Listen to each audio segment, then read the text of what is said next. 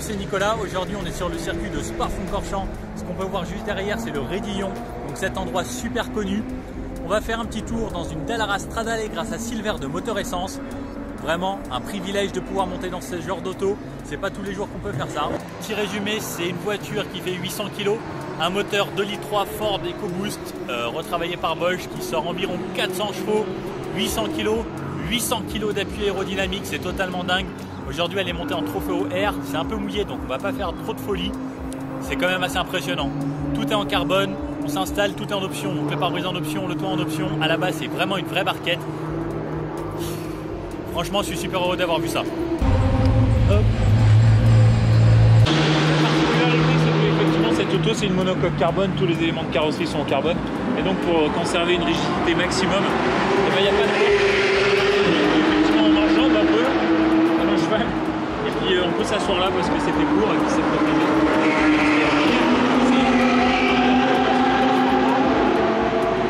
Et puis, en fait, c'est finalement assez simple. Et c'est un peu comme dans une monoplace.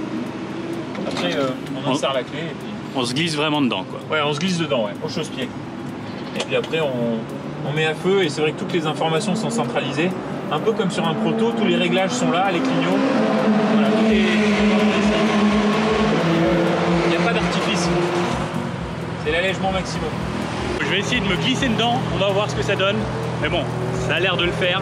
Faut être un peu souple. Ouverture de la porte, qui s'ouvre comme ça en hauteur. Donc ce qui permet quand même de rentrer assez facilement. On va pas se faufiler non plus. On va voir ce que ça donne. Alors donc, on a dit, on met le pied sur le step here, juste là. Ici. Alors tu mets d'abord ton pied gauche. Donc, pied gauche, hop, on pose, Tu tu sur on peut s'asseoir, donc c'est protégé. Choper le rétro. Voilà. Le rétro, attention, hop, la souplesse. Bien. Et ensuite, on glisse dedans. Voilà.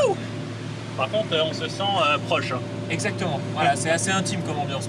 Complètement. Après, euh, ce qui est sympa, c'est de tout de suite choper la porte parce que si tu mets tes harnais, après, euh, bah, tu roules toute porte ouverte, ça marche moins bien. Et puis, et puis tu, tu viens claquer doucement, ici, des deux côtés, et puis voilà. C'est vraiment dans une ambiance 24 heures du Mans proto quoi. Ça ressemble un peu à un LP3 d'ailleurs. Carrément. Alors, hop, à moi de mettre le harnais. Donc vous voyez ici, et donc comme une caisse de course, on rentre dans les différents menus. Et ici, vous avez par exemple Drive Mode. Si je valide, j'ai les setups euh, pour la puissance moteur par exemple, donc euh, soit low ou soit high. Donc effectivement, high c'est quand on est sur circuit. On revient en arrière, on peut aussi gérer les suspensions. Donc vous avez les suspensions en mode normal ou en mode track. Euh, et puis ensuite, on a évidemment ses temps autour, euh, ses setups, etc. Donc euh, c'est vraiment euh, configuré comme une auto de course. Voilà, c'est assez génial. Et tout est centralisé sur le volant, un peu comme les, les super sportives modernes aujourd'hui, avec les clignots, le klaxon quand il faut dépasser, et puis, les phares. Voilà, il y, a, deux accessoires. Alors ça, c'est les essuie-glaces, et puis là, c'est le lave-glace. Et la petite clim quand même. Même la clim à l'intérieur. hein. Ce qui est un petit plus parce qu'à mon avis, ça l'été, ça doit bien chauffer. Ouais, ouais, ouais, ouais, ouais. Puis en plus, euh, tu vois, il n'y a pas de fenêtre. Donc en gros, si t'as chaud, euh, tout comme ça, alors on peut rouler à faible allure, mais c'est pas non plus fait pour. hein, je t'en prie, s'il te plaît. Et euh, mais par contre, euh, en fait, ça se démonte. Ça se démonte et on peut vraiment rouler. Donc là, En on speedster, enlève quoi. les vis, les Ouais. trois vis ici. Ouais. On a des vis derrière. Et là, tu vois, t'as on là. ça. Tu vois, t'as des gâches ici Ok. que tu descends et ça se démonte. D'accord. Vous pouvez rouler soit donc, avec le T ici, Ouais. qui peut servir de protection, Ouais. soit juste la baie de pare-brise, donc avec le pare-brise, soit on peut tout enlever. Exactement. Et là, on a une vraie barquette. Exactement. Comme un sac à dos. Et là, on a, comme sur les Ferrari, assez simplement, devant, Ouais, c'est un deux points, tu vois, c'est assez simple à mettre. C'est euh, l'avantage de quand t'as pas de ceinture, t'as des harnais, des fois c'est très chiant quand t'as des 4 points, 6 points. Là en deux points honnêtement c'est très facile à mettre. Et puis c'est vrai que l'avantage c'est que tu es vraiment bien maintenu et vu les, les capacités de freinage de cette voiture et euh, l'appui aéro qu'il y a, euh, c'est vrai que c'est pas du luxe. complètement. Bon là il pleut un peu, on est en trophée OR, c'est-à-dire des pneus quasiment slick, euh, qui s'équivalent un peu à du Cup 2 mais avec encore un petit peu plus tendre.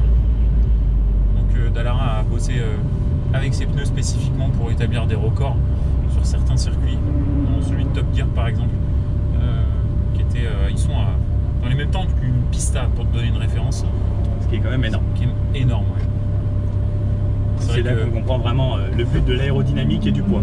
Ouais, exactement. Et puis euh, les qualités de développement de Dallara qui, euh, qui ont un héritage en compétition qui est énorme, puisque le mec il a quand même bossé avec euh, alors Ferruccio Lamborghini, mais avec euh, Enzo Ferrari, avec Bruce McLaren, avec Frank Williams, euh, donc tous les grands noms de l'automobile. Et puis ensuite, il a développé parmi les premières souffleries euh, au monde. Puis après les souffleries, il a fait des, des développements qui sont des simulateurs de conduite, des études aérodynamiques informatiques. Donc c'est un vrai vrai ingénieur. Et tout ça a été com- compacté dans sa première voiture de série. C'est quand même un monsieur qui a près de 80 ans, je crois, et qui, euh, bah, cet âge-là, s'est dit ok, je vais essayer de faire une voiture. euh, En fait, toute ma vie, j'ai fait des voitures de, de circuit, donc euh, IndyCar, toutes les voitures, c'est à lui. Euh, la Formule 1 de Romain Grosjean, As, bah, c'est lui. Euh, les développements châssis euh, d'une Bugatti Veyron, d'une La Ferrari, une F18, euh, voilà, certains éléments de carbone autoclave des Pagani, c'est c'est aussi lui. Enfin, c'est quand même du lourd, quoi. Complètement. Et donc, il s'est fait une petite auto, euh, 600 exemplaires numérotés. Et puis, euh, et puis voilà.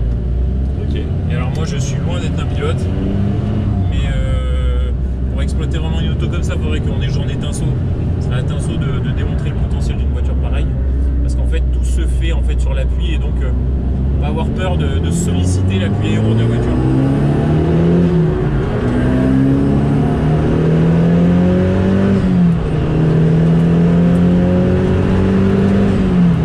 Oui, pas mal.